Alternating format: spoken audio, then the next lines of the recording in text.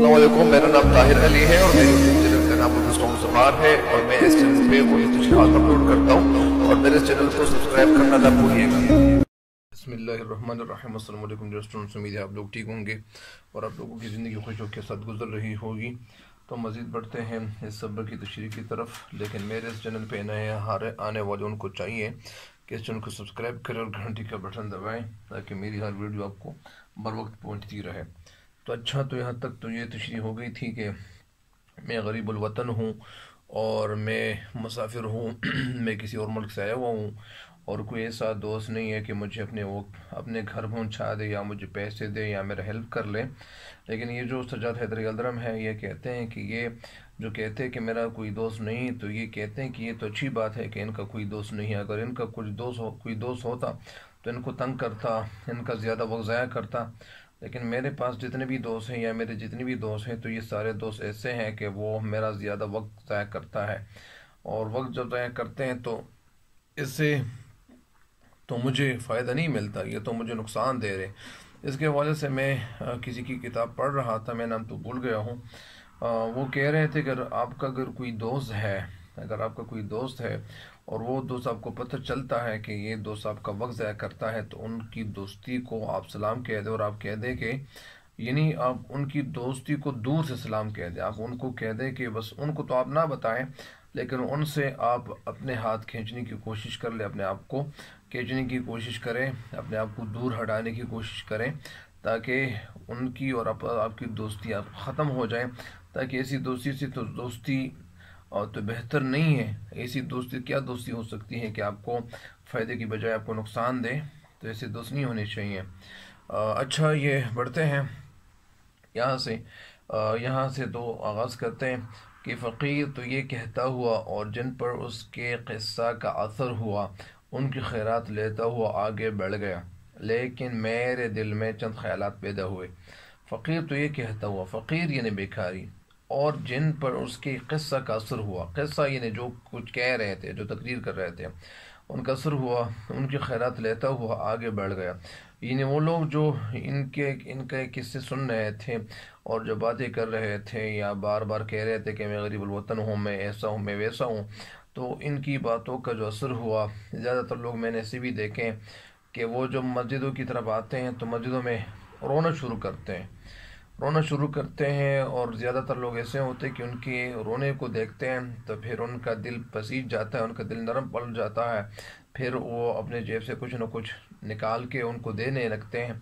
लेकिन असल में ज़्यादातर लोग ऐसे ही होते हैं कि वो पेशवर बेकारी होते हैं। लेकिन इन लोगों में कुछ लोग ऐसे भी होते हैं कि वो ज़रूरतमंद होते हैं, उनको ज़रूरत होती है, ताकि उनके साथ इमदाद की जाए, उनके साथ कुछ ना कुछ मदद की जाए। लेकिन ये तो बेहतर होता है, लेकिन इन लोगों का पता ज़्यादातर सही तरीके से वाजे नहीं हो पाता या पता नहीं चलता है। बहरहाल यानी खैरात लेता हुआ आगे बढ़ गया। यानी वो आगे बढ़ता गया, लोगों ने पैसे दे दिए दे दिए, लेकिन ये आगे बढ़ते गए। लेकिन मेरे दिल में चंद ख्याल पैदा हुए। ये कहते हैं कि मेरे दिल में चंद ख्याल यानी चंद आइडियाज़ जो थे, वो पैदा हो गए, और मैंने अपनी हालत का मुकाबला उससे किया, और मुझे खुद खुद, मुझे खुद तजुब हुआ। यानी मैंने अपनी हालत का, अपनी हालत यानी जो मेरी हालत थी का मुकाबला का मुकाबला कंपेरिज़न यानी अपने आप से मुकाबला किया मुजना किया तोज़ुन किया बैलेंस यानी अपने आप को मैं कर रहा था कंपेरिज़न कर रहा था, उनके साथ उससे किया, मैंने कंपेरिज़न किया और मुझे ख़ुद ताजुब हुआ। ताजुब यानी मैं, मुझे हैरानी हुई, मैं हैरान रह गया, मैं हैरान हो गया कि अक्सर अक्सर यानी ज़्यादातर। अमूर उमूर, यहाँ पे अमर की जमा है और अमर के माने हुक्म भी है, काम भी है, लेकिन यहाँ पे क्या है? यहाँ पे मामले हैं, मामले या काम। अक्सर उमूम में, यानी अक्सर मामलों में, अक्सर कामों में या अक्सर बातों में मैंने उसको अपने से अच्छा पाया। यानी वो इंसान जो ये कह रहे थे कि मेरा कोई दोस्त नहीं है तो उनको मैं अपने आप से, मैं कुछ बातों में या कुछ उमूर में, कुछ कामों में वो मुझसे बेहतर थे, यानी अच्छा पाया। मैंने उसको अपने से अच्छा पाया। ये सही है कि मैं काम करता हूँ। अभी ये कहते हैं, अभी आपको बातें बता रहे हैं कि ये बात तो दुरुस्त है, सही है कि ये बात दुरुस्त है कि मैं काम करता हूँ। और वो मुफ़्त खोरी से दिन गुजारता है। मुफ़्त खोरी यानी बग़ैर मेहनत के खाने पीने का, की आदत उनकी बनी हुई है। और वो, यानी लोगों से क्या करते हैं, भीख क्या करते हैं, मांगते हैं। लेकिन इन भीख मांगने की वजह से उनका दिन गुजरता है। नीज़ ये के और मज़ीद ये के, या मज़ीद ये कि मैं मैंने तालीम पाई है, इनमें एजुकेटेड हूँ, तालीम पाई है, तालीम हासिल की है, वो जाहिल है, वो अनएजुकेटेड है, वो लिटरेट है इलिटरेट है। तो मैं एजुकेटेड हूँ और वो अनएजुकेटेड है। यानी मैं अच्छे लिबास में रहता हूँ। अच्छे लिबास लिबास की जमा अलबिसा मैं अच्छी, अच्छे लिबास में रहता हूँ। यानी अच्छे कपड़े पहनता हूँ। वो फटे पुराने कपड़े पहनता है। फटे कपड़े पहनता है, यानी वो जो वसीदा हो, जो ज़्यादा पुराने हों तो पुराने कपड़े पहनता है। बस यहाँ तक मैं उससे बेहतर हूँ। यानी यहाँ ये जो बातें मैंने ज़िक्र की तो इन बातों में मैं उनसे बेहतर हूँ। आगे बढ़कर उसकी हालत मुझसे बदरजहाँ अच्छी है। यानी इसके बाद अगर, इसके बाद अगर आप मेरे और उनके आपस में कंपैरिजन की कोशिश करेंगे तो उनकी हालत मुझसे बदरजहाँ अच्छी है, बेहतर है। क्यों बेहतर है? उसकी सेहत पर मुझे रश करना चाहिए। सेहत पर? रश का मतलब क्या है? रश्क ये उलट है हसद का। हसद का उलट है। रश्क और हसद में बड़ा फ़र्क है। हसद वो है, मिसाल के तौर तो पर अगर आपने कोई गाड़ी ख़रीदी है और आप गाड़ी में बैठे हुए हो और किसी ने आपको देखा और उसने कहा कि यार ये गाड़ी अल्लाह ताला इनसे भी छीन ले और मुझे भी ना दे तो इनको क्या कहते हैं? इस इस लफ्ज़ को हसद कहते हैं। यह हसद क्या है? बोझ की ना हसद है। यानी वो कहते हैं कि अल्लाह ताला आपको भी नसीब ना कर और मुझे भी ना दें, लेकिन ये गाड़ी इनके पास नहीं होनी चाहिए। तो इनको क्या कहते हैं? इसको हसद कहते हैं। हसद का जो उलट है रश्क तो रश्क के मानी यह है कि अगर आपको किसी ने गाड़ी में देखा और आप गाड़ी में बैठे हुए हैं, गाड़ी अच्छी है, खूबसूरत है तो अगर किसी ने आपको देखा और वो उसने ये बात कही डाली उन्होंने ये कहा या उसने ये कहा कि अल्लाह ताला ये गाड़ी आपको भी नसीब कर दे, अल्लाह ताला मुझे भी इस तरह गाड़ी दे दे तो ये क्या है? ये रश्क है। अच्छा तो मैं रात दिन फ़िक्र में गुजारता हूँ। रात दिन यानी मैं दिन रात में फ़िक्र में गुजारता हूँ। फ़िक्र यानी सोच में घिरा हुआ होता हूँ।